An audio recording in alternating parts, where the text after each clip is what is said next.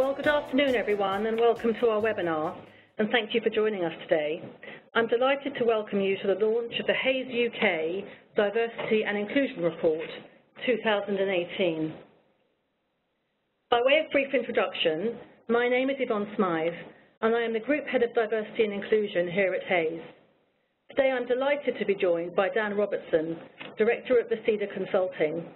We know Dan well, and we often collaborate with him on our D&I-led programming. Dan is a specialist diversity and organisational development consultant with substantial experience of leading organisational strategy and managing operational projects with particular expertise in organisational diagnostics, capacity building, leadership and culture. Dan and I are going to take you through the key findings of Hays UK Diversity and Inclusion Report and our key recommendations.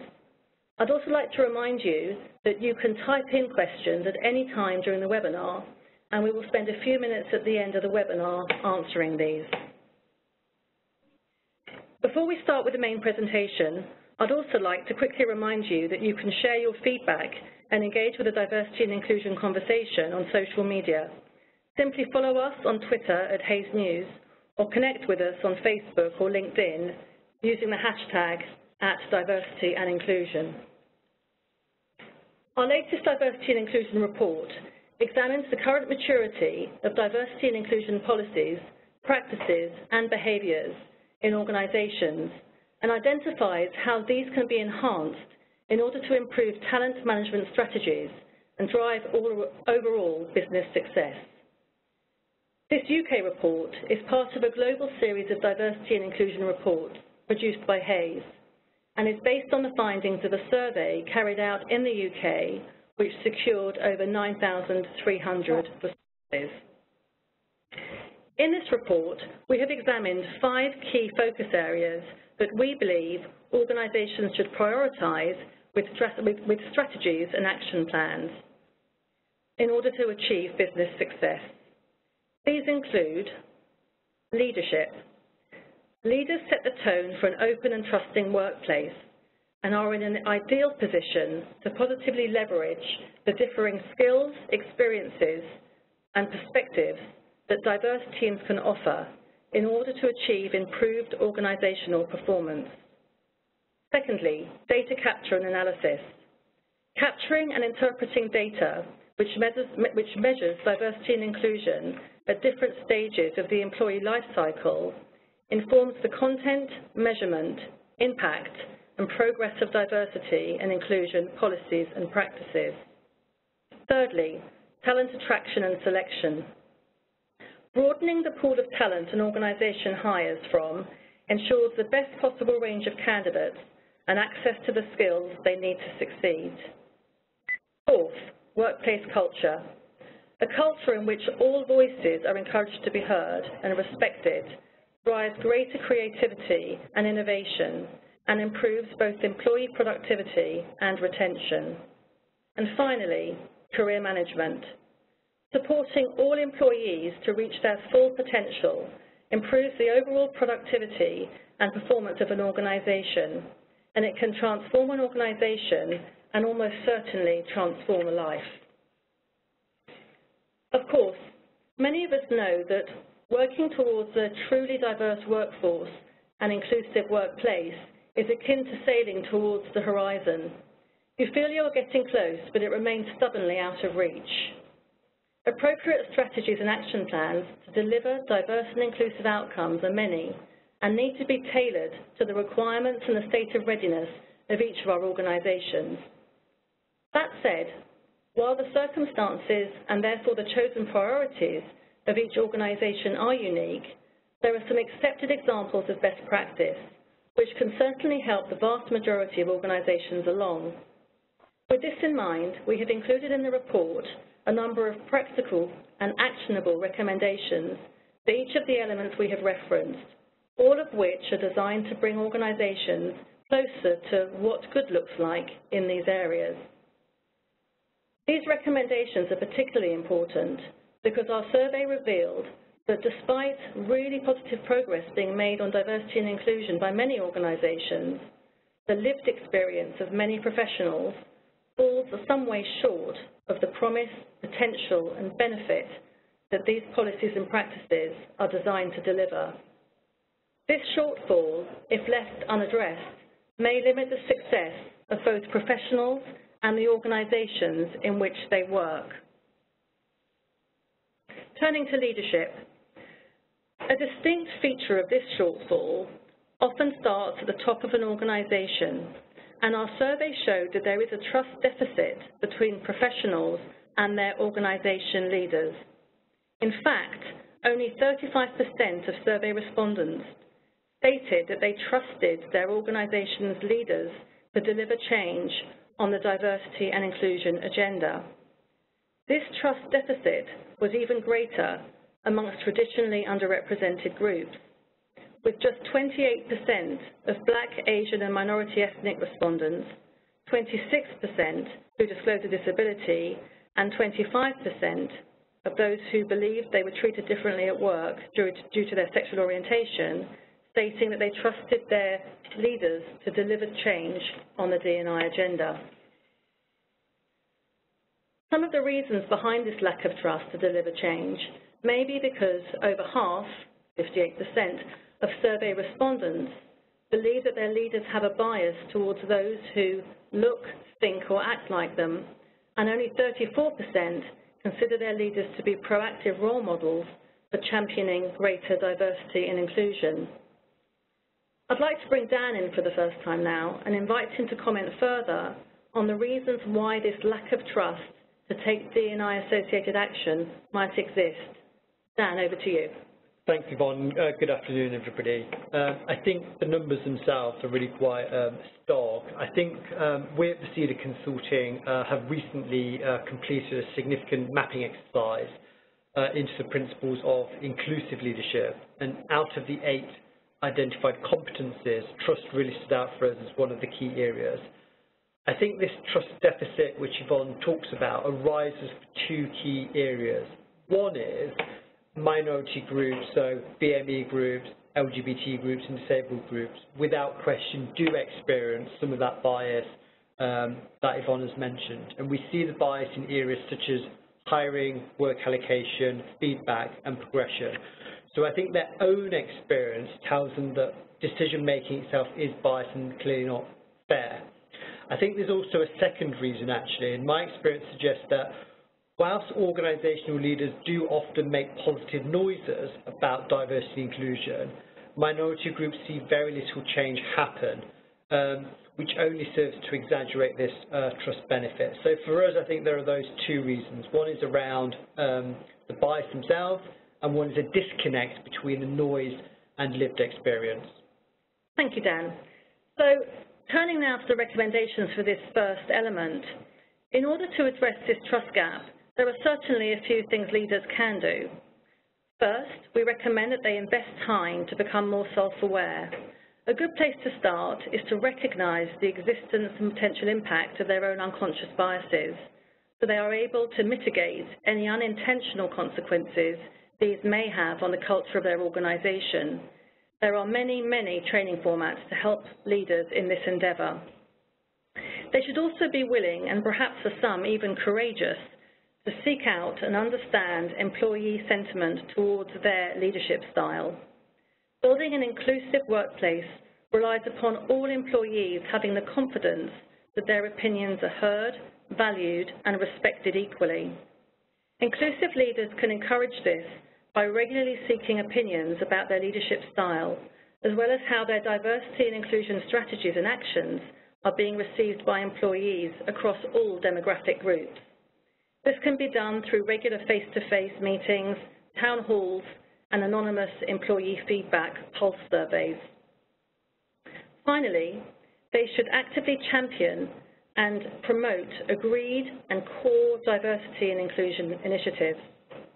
Sharing the personal, professional, cultural, and of course commercial successes which result from these will help increase employee confidence that leaders understand the importance of diversity and inclusion to individuals and the business as a whole, and that they're committed to progressing these. Dan, turning to you again, You are often asked to advise and coach senior executive teams on the importance of inclusive leadership and how to visibly lead from the front and role model this. What are your thoughts on how leaders can become more manifestly inclusive in the way they conduct themselves?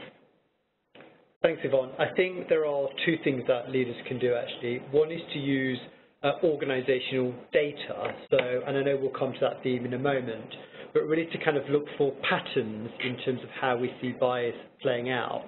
But I think more at a behavioural level, uh, there are a number of things that leaders can do. So the first is there's, there's a whole bunch of work around what's called the principle of amplification. And what that simply means is making sure that we amplify the voices of minority groups in their organizations. So that's about making sure that people who are different get opportunities at conference presentationals, uh, you know, they get opportunities to speak at the client pitch, and really making sure their voice is heard uh, in team meetings. Sponsorship has shown to be uh, very effective, actually, in terms of reducing some of that trust deficit, which we talked about earlier. So leaders really need to go out of their way to really sponsor individuals who are different from them. And I think often what we find in some of these pulse surveys is um, minority groups feel that they don't get um, honest and consistent feedback. So I think managers and leaders really need to think about those principles as well. Thanks, Dan. So turning now to the second element that we surveyed upon, data capture and analysis. Of course, in order for leaders to track and improve diversity and inclusion performance, there needs to be effective data capture and analysis.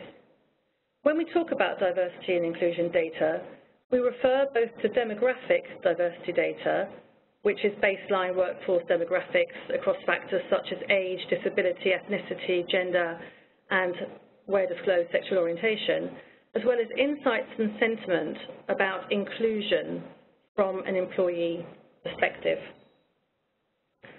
Our report revealed that diversity and inclusion data is not being captured consistently, nor is it being used to inform wider campaigns and investment. It was apparent from our survey that diversity data is mostly sought during or following the recruitment of new employees. Positively, 66% of survey respondents say their organisation captures diversity data at the recruitment stage. However, there seems to be significantly fewer times when this diversity data and sentiment is captured during the life cycle of an employee. Only 48% say this data is captured when employees leave an organisation, and just 46% say it is captured at key stages of ongoing career progression, such as promotions. Capturing this information at more regular professional and personal life stages could certainly help inform an organisation's diversity and inclusion commitments and influence their progress. The minimal and often static moment-in-time nature of how diversity and inclusion data is often captured is reflected in the comments from our survey respondents, namely that data is not being consistently used to measure and inform wider commitments, campaigns and programs. This perception, if left unaddressed, could lead to a downward spiral in both confidence and participation. Less than half, 43%, of respondents believe that this data is used to determine the effectiveness of diversity inclusion related policies and the fairness of people practices. This same percentage, 43%, of respondents say that they believe diversity and inclusion data is used to inform staff engagement and to make improvements to workplace culture. 42% say it is used to inform recruitment campaigns, and just 38% believe it is used to inform career development programs. So turning to the recommendations on this sector around data capture and analysis, wherever possible, organizations should seek not just demographic diversity data, but also inclusion insights from their workforce. Such qualitative data can, for example, be captured through employee surveys which ask direct or indirect questions about perceptions of trust, transparency, fairness and equality. The answers given are highly likely to offer insights missed by simple quantitative metrics, which tend to only look at the demographic profile of an organisation and do not offer the opportunity to capture the true breadth and depth of insight, which is really central to the spirit of D&I, and thus limit the prospect to effect significant positive change. Seeking and capturing diversity and inclusion data at different stages of the employee life cycle, such as recruitment, promotion, a return from extended absence or departure, informs and strengthens an organization's diversity and inclusion commitments and an ongoing program of sustained change. Of course, organizations should aim to ensure employees are reassured that any information gathered will be kept confidential and used ethically so as not to hinder their data collection efforts.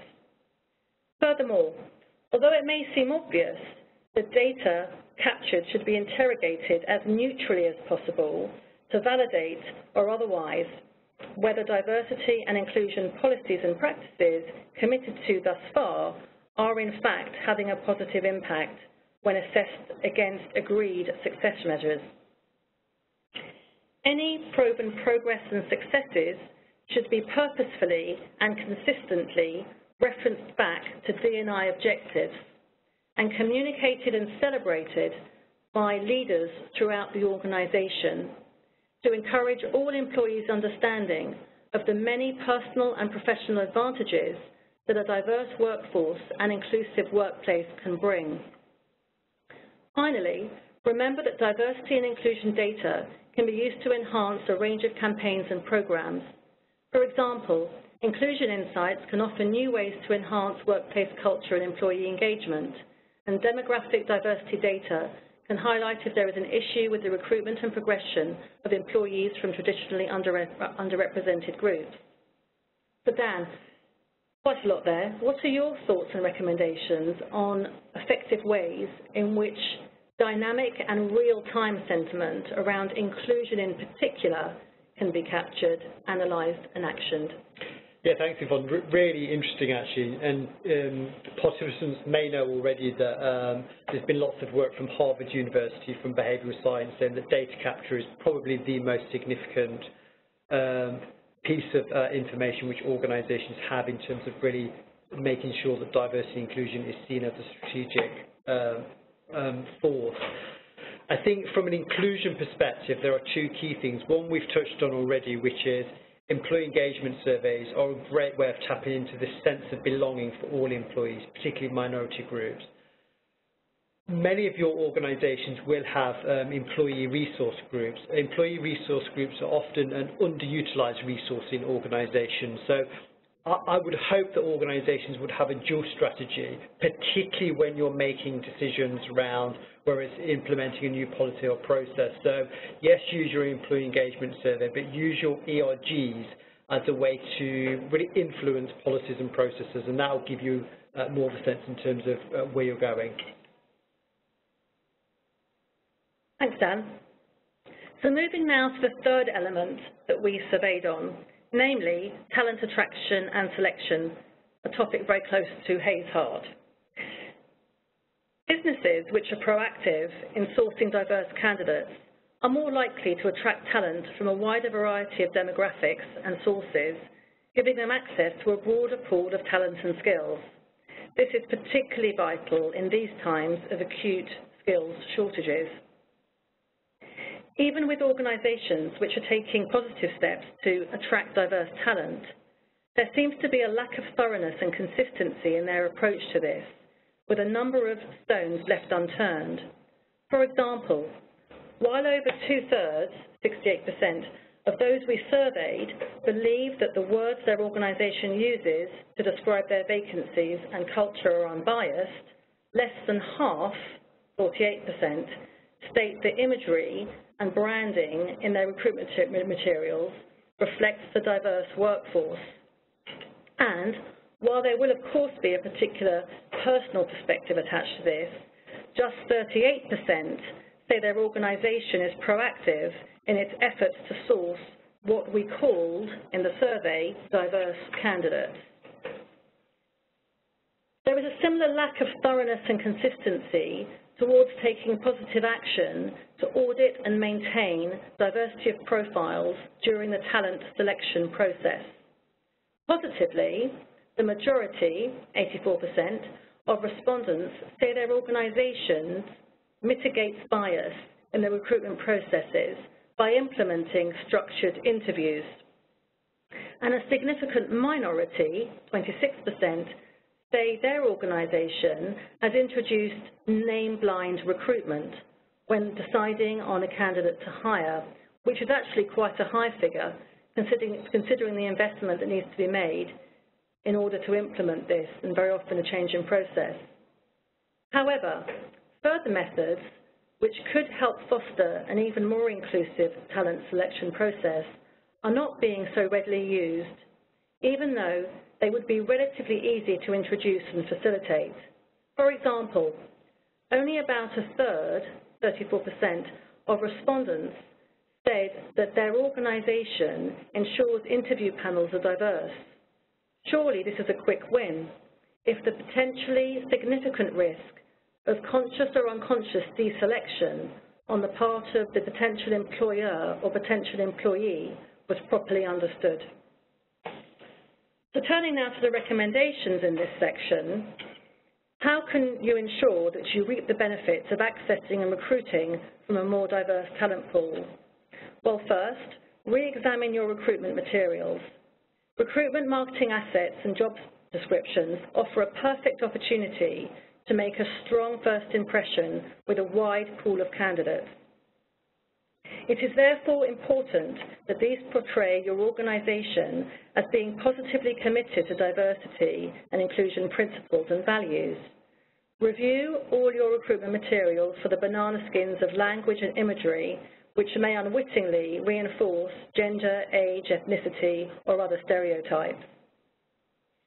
You should work with an expert recruiter who understands how to attract talent from the widest talent pool consciously including underrepresented groups. Not only will this help you attract talent by positioning your organization as having a welcoming environment for all, but it will help you actively source talent from the widest possible pool, both vital considerations in today's skills-short and competitive recruitment market. It is also important to mitigate bias when reviewing CVs. Remember to do this throughout the talent selection process by involving a range of diverse stakeholders when reviewing and selecting candidates. Also, where possible, consider blind decision-making when shortlisting candidates to ensure that selection is based on core essential skills and competencies only. You can do this by removing one or more elements of personal information from the CVs before review such as a candidate's name and possibly even education. Also, trim job and person specifications to reflect essential skills, competencies, and aptitude, as opposed to a wish list linked to attainment and same mould profiles. Finally, diversify your interview panel.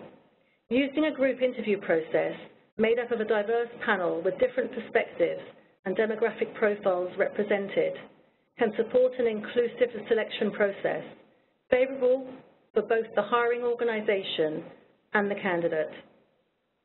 So Dan, turning to you, there are a number of recommended actions here. Is there anything else you would advise employers to do in consciously incorporating an inclusive tone when recruiting talent, as opposed to perceiving this positive action as targeting one profile to the detriment of another. Thanks, Yvonne. Yeah, actually, really a good solid set of recommendations there. I think a number of points to make is, is one is um, recruiting diverse candidates is not a zero-sum game.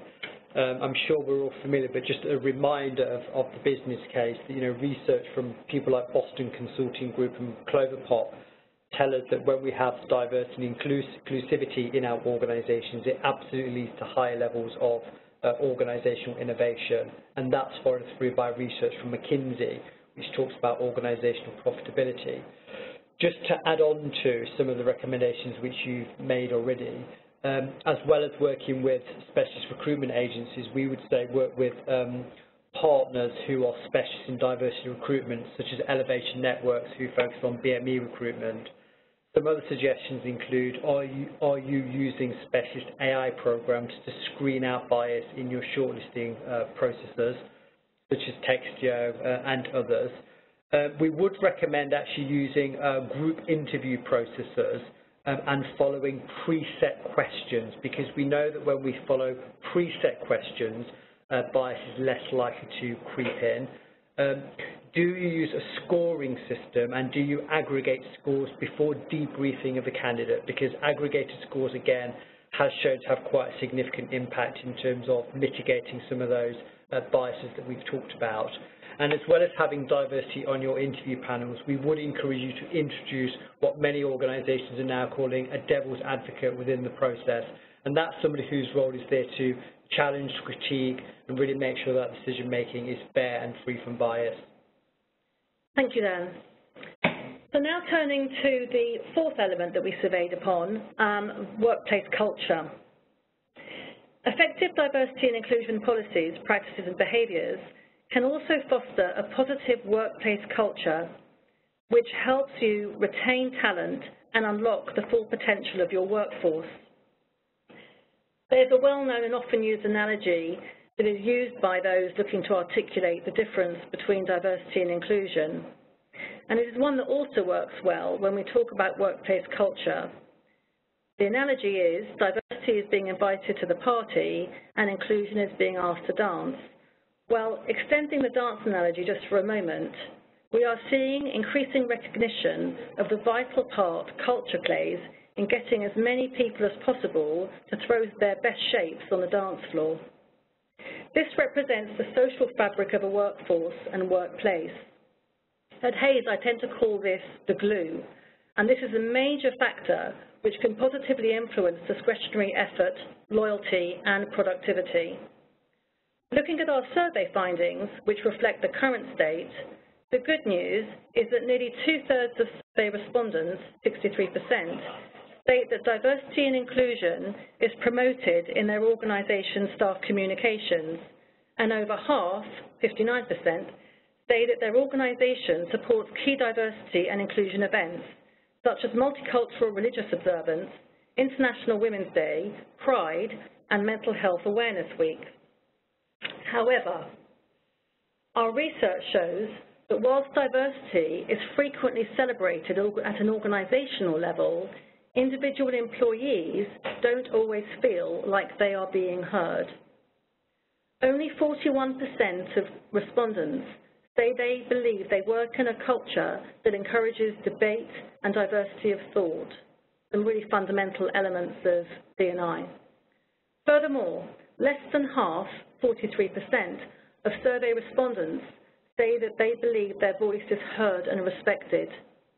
This sentiment was, even, was, was felt even more acutely amongst those who felt they were disadvantaged at work during, uh, due to their sexual orientation at 36%, um, BAME and disabled respondents, of whom only 32% felt that their voice was heard and respected.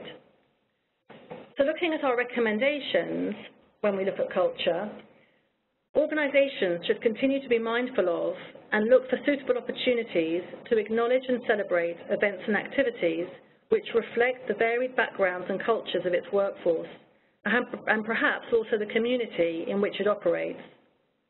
Prompts and suggestions for these often come from within an organisation at grassroots community level. Listen out for these and if a decision is made to acknowledge and celebrate these, ensure the opportunity to participate in something different is consciously offered and inclusive to all.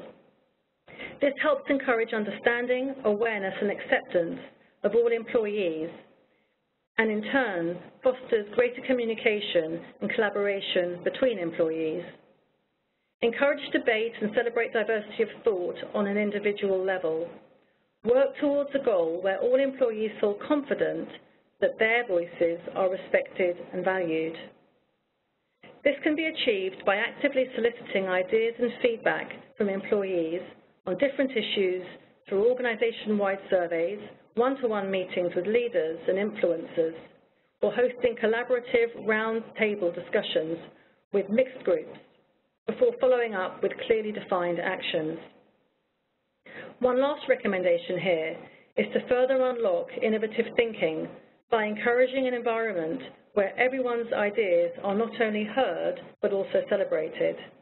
This can be done by promoting the business successes of those employees who have driven innovation by thinking outside the box, which will encourage other employees to do the same. All of this should be wrapped and underpinned by a deliberate and purposeful communication from the organisation's leaders. So Dan, turning to you, if I may, on this increasingly hot topic, can I ask you for your views on two things? The first question is, what has been the trigger which has resulted in us now aligning culture so much more closely to the D&I narrative? And the second question that I have for you is, given that an inclusive culture is something that, work, that workers want and actively seek out, how do organisations support the challenge that this survey poses, namely that driving the experience of an inclusive culture needs to move from organisational down to individual level? Thanks, Yvonne. I, think there's a couple of things to think about there. If we just take the first question, and I'll just share a statistic with everybody, is that the LinkedIn uh, Global Recruitment Index 2018 found that 57% of organizations are now looking at how they can promote a sense of belonging. And the reason that they're doing that is because the voices of minority groups are often undervalued, underutilized, and in some cases ignored. This falls into um, something which Daniel Pink uh, talks about in his book Drive, which is that um, not just minority groups, but all of us in organizations are looking for a sense of having a voice. Um, we're looking for a sense of how can we as employees have some uh, autonomy, mastery and purpose in our organizations. And I think these themes around belonging, mastery and purpose and voice really fall into this notion of um, promoting an inclusive uh, work culture. So there's some of the big things which organizations need to think about. I think in terms of what um, um, organizations can do at the individual level, for me it actually goes back to some of the things that we were talking about previously in terms of um, you can only do when we go back to some of those principles of amplification. So if I am LGBT, disabled, or from a BME group, do I get the speaking slots at team meetings? Do I get the speaking slots at town hall events? Do I get the speaking slots at, at, at conferences? Do I feel a sense of sponsorship from those leaders in my organisation? Or do I see people who are different from me and in the majority group getting the sponsorship? Do I feel that I'm getting honest and consistent feedback? I think there's also something quite fundamental about role modelling, so making sure leaders role model inclusivity um, you know, in, in the way that they uh, try and move their strategy. So one is questioning. So question, for instance, all male conference panels or client uh, team meetings um, and introduce the notion of what's called blind ideas sharing, so bias doesn't fall into that process. Thank you, Dan. Turning now to the final element that we surveyed upon, um, proactive career management. Whilst the reality of a good workplace culture is both a group and an individual play, the fifth and final element that we explored in our survey and report fundamentally happens at the individual level. Effective career management helps to build and sharpen relevant skills and experiences of employees and, if managed well, directly benefits both the individual and the organisation. Looking at this vital ingredient, our survey surfaced a commonly expressed concern that many professionals perceive that there are still barriers to career progression as a result of factors which sit outside of core considerations of competence, attitude, aptitude and merit. Over half, 57%, of our survey respondents said that there have been occasions where their chances for career progression have been limited because of their age, gender, ethnicity, disability, or sexual orientation. Taking the same challenge, but looking at it through a different but related lens, 43% of survey respondents state that they believe they are more likely to be promoted if they have a similar socioeconomic background to their organization's management. We've taken a number of cuts of this data, and we see that 57% of respondents who believe that their progression has been limited due to their background. Sorry, I'll, I'll, I'll repeat that because that's not clear. So we've taken a, number of cuts of the data, and 57% of respondents believe that their progression had been limited um, due to their background. And looking at that a little bit more closely, the specific characteristics cited were 50% believe that this was due to their age, 41% due to their gender, 40% their ethnicity, 11% their disability, and 8% due to their sexual orientation. Cutting the data again shows us that certain demographic groups are more likely to believe that their career progression has been limited when directly compared to other comparator groups. For example, 68% of all BME respondents say that their progression has been limited due to their ethnicity, compared to just 8% of white British respondents. 36% of all female respondents say that their career progression has been limited due to their gender, compared to only 9% of all male respondents. 48% of all, of all respondents who disclose a disability say that their progression has been limited due to their disability.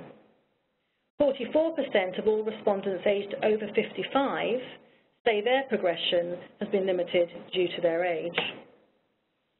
So looking at the recommendations on some of these quite stark numbers, most organizations, of course, would be quick to refute any suggestion that their employees' progression is significantly or even in part limited due to gender, ethnicity, age, sexual orientation, disability, or socioeconomic background. However, the sentiment expressed by our survey respondents is a perfect illustration of where perception can become a reality. On the basis that these perceptions do exist amongst the majority of employees, employers need to take steps to build an environment where employees can feel confident in expressing concerns like this. There should be a process in place for sentiment to be listened to, noted, responded to, and acted upon in a measured and appropriate way. Employees should also have clearly defined progression pathways and transparent objectives, so they are aware their personal career progression is tied to specific aspects of their performance which will only be assessed on merit. Additionally, certain policies can help progression opportunities ensure that progression opportunities are inclusive to all employees. For example, flexible working opportunities will allow all employees to better manage the demands of work and personal life while still fulfilling professional responsibilities. Initiatives such as mentoring and sponsorship programs are a useful way to provide traditionally underrepresented groups with access to leadership development opportunities. Finally, training at managerial level with a clear reference to the impact of unconscious bias at, team, at key times of selection should be a priority. These can have a positive effect removing some of the actual and perceived obstacles to career progression experienced by employees and support more employees to reach their full professional potential. So Dan, you're recognized as one of the world's leading experts on the existence and the impact of unconscious bias. We know it is one of the major causes for inequality of access and progression in the workplace. Looking at career management and career progression in particular, what is your advice on how the impact of unconscious bias can be mitigated in this regard? Thanks, Yvonne. Um, I think there's a number of things actually. One is that we know that unconscious bias does result in organisational trends and patterns. So one of the things actually that I would encourage organisations to do, even though we're talking about um, career management, is just think about those one or two steps prior which leads to that uh, conversation. So look for trends and patterns based on things like gender, disability, ethnicity in terms of who gets the stretching work, who gets the work allocation. Um, there's lots of work going on, interestingly, in law firms at the moment around utilization. So utilization data based on gender, and that's actually informing career management uh, conversations. So I think about using your data to, to do all, all, of that. The other thing which I would uh, ask you to think about beyond the system process, if you like, is just some of those everyday behaviours which are really aligned to the theme of culture that we've been talking about today. You know, lots of women do continue to talk about, you know, the old boys club, uh, the behaviours that go on under the radar, the not spoken activity, you know, those unwritten rules, who gets invited to the ski trip. You know, some of these um, softer things, if you like, have a greater impact in terms of people's um, careers. So I think a dual process of things like utilization data, um, as well as the behavioral things. Um, we'd like to um, really like to get some investigation in terms of in terms of what's happening. Thanks, Dan. Um, I'm delighted to say we're keeping to time, which is great. Um, that means we've got some time for some questions because that really takes us to the end of the formal part of the presentation. We've got a few questions that have come up and I'll relay them back in, um, and we'll comment on those, and then we'll let you know how you get a copy of the slides, et cetera, et cetera. So just having a look at some of the questions that have come in. Um, I can see here a question, Dan, perhaps you can have a look at it. Um, how do you create clear pathways for progression in a small organisation where it is unlikely to be able to promote from within? Well, that's an interesting question, actually. Um, I think there are a couple of things, actually, in terms of the career pathway for progression uh, in small organisations.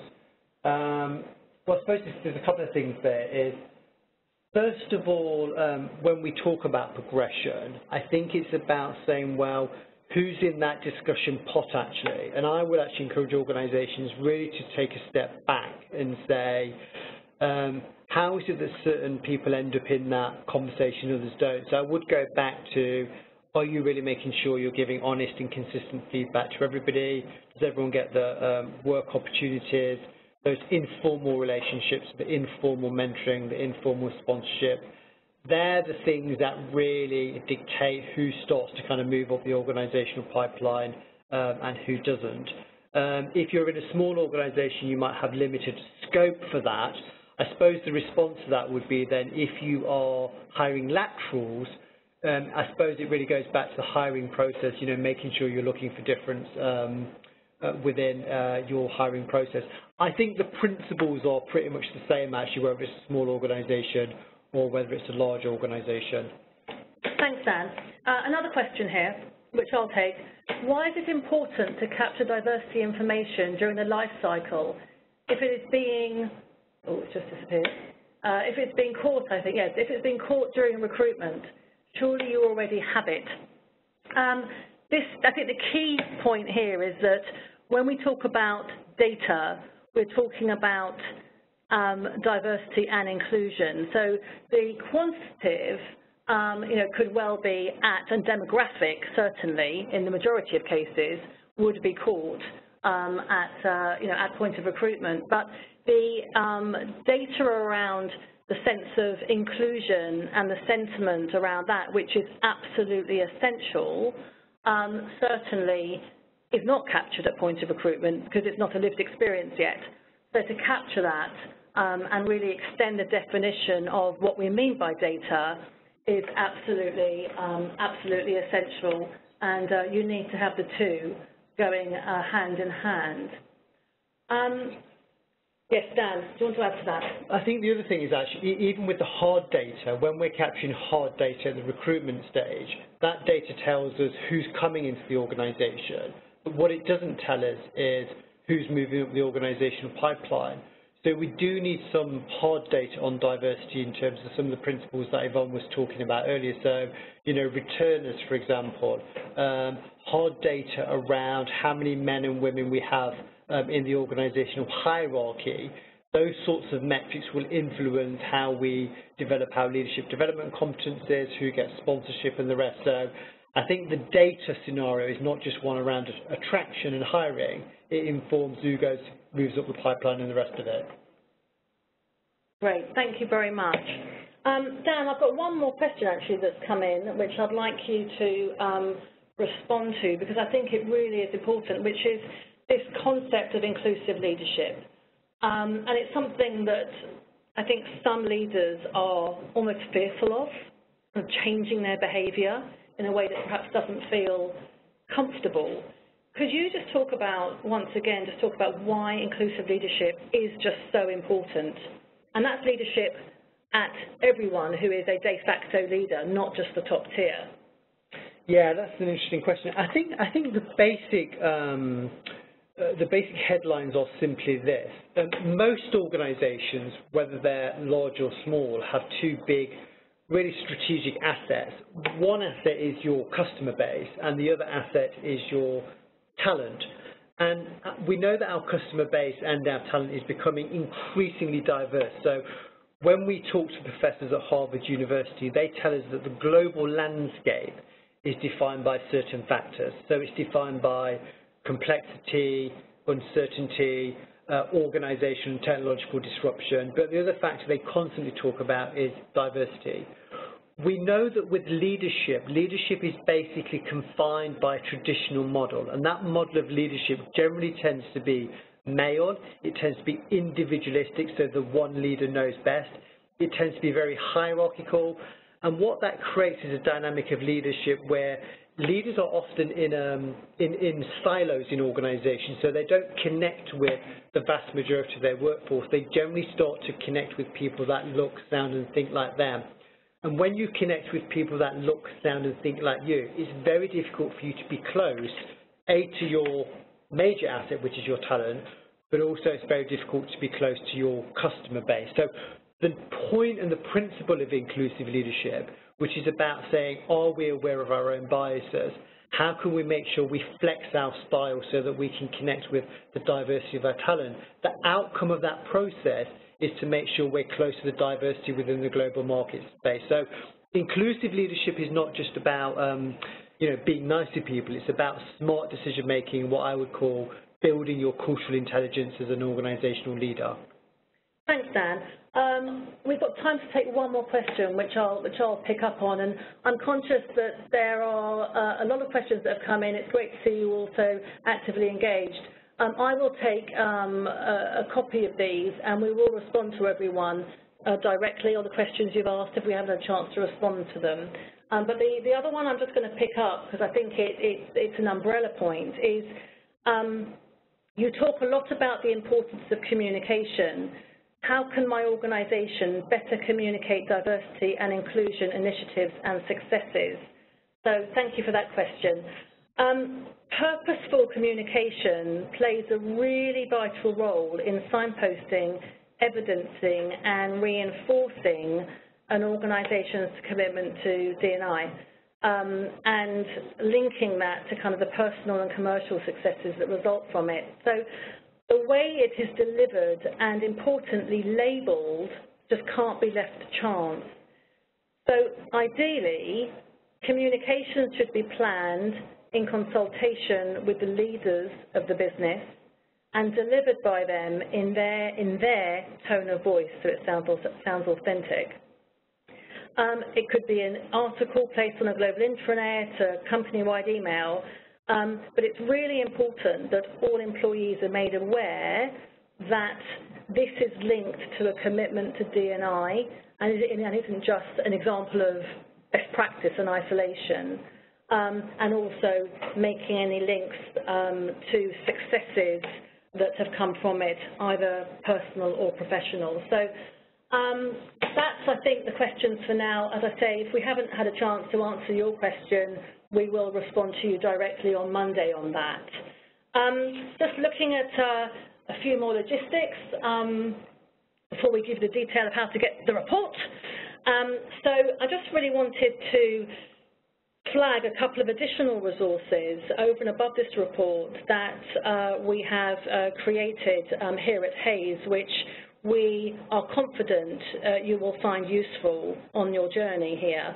Um, the first one is a candidate journey diagnostic tool, um, which is an online tool um, to help organizations improve their, their candidate experience.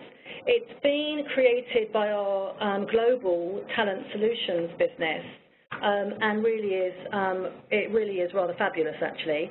It's an interactive tool that allows you to evaluate how strong your candidate experience is against industry-leading best practice across six key assessment stages. It's based on your self on your self-assessment and specific goals, and once you input those, the tool automatically provides a rating against your answers and creates a personalized report of recommendations on how to take your candidate experience to the next level. The bespoke report that you'll get will benchmark your candidate experience score to help you identify what makes a winning candidate experience, how to take your candidate experience to the next level, and areas of priority, quick wins, and ideas for continuous improvement. So that's around the candidate experience, which is obviously pretty close to our core business here at Hays, and the talent attraction um, element of the report.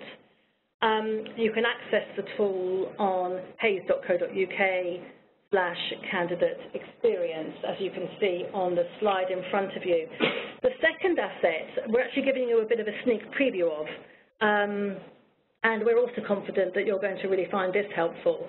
Um, this is an inclusive recruitment checklist that um, Dan and I actually have been working very closely on, and in his comments on the um, talent attraction um, element of, of, this presentation, he's already started to allude to some of the really um, fabulous shortcuts and, and, resources that you can use. So it's Hays in, in partnership with Vercida Consulting. Um, the checklist lays out a step-by-step -step, um, series of instructions and recommendations to help you build a more inclusive recruitment process. And you can uh, shortly request your copy from our website landing page, um, hays.co.uk slash DI checklist, and we'll be happy to introduce you and talk you through this valuable tool. So, there's a couple of extra things. Um, coming back to the main purpose of this webinar and a copy of uh, the guide and this, this report and its recommendations, and indeed the context setting by a number of subject matter experts um, against the five elements, including Dan. I hope you found today's session uh, a useful insight into diversity and inclusion in the world of work today and how you can improve your organization's own policies, practices and behaviors, and indeed become more self-aware as you're progressing through your own careers. At this stage, if you would like to request a copy of the report, please speak to your usual Hays contact or complete the form on our web page, which is listed there on the screen, hays.co.uk slash DI report. We would be delighted to provide you with further, further consultancy and advice on this increasingly front and centre topic. So that's how you get the report. Um, you request a copy, um, you infill your details, and then we basically make sure you get a copy, and we're very happy to follow up with some um, personalised conversations. So I think we've kept time. My, finally, my, my thanks go to Dan, uh, Dan Robertson at Vercida Consulting for sharing his expertise with us today, um, and to all of you for taking the time to join us on this webinar.